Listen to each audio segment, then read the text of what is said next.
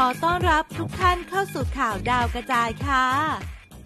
เต๋าทีวีภูชี้แจง เรียกได้ว่าไม่นานมานี้ทางด้านของเพจดังเพจหนึ่ง ได้ออกมาโพสต์ภาพพร้อมระบุข้อความ ที่ทำเอาสังคมโลกออนไลน์ถึงกับออกมาจับตาดูกันเลยทีเดียว กับเรื่องราวเรื่องราวหนึ่งที่ในวันนี้เราจะพาเพื่อนๆมาติดตามเรื่องราวนี้กัน จะเป็นอย่างไรนั้นไปติดตามพร้อมๆ กันเลยจ้า ทางด้านของเพจดังอย่างเจ๊มอยร้อยแปดได้ออกมาโพสต์ภาพพร้อมระบุข้อความเอาไว้ว่า เฮ้อ ช่วงนี้กูขี้เกียจเอาการบ้านจากแม่ไปละกัน ถ้าจะโพสต์แค่นี้กูผูกคอดีกว่า เดาไม่ออกเว้ย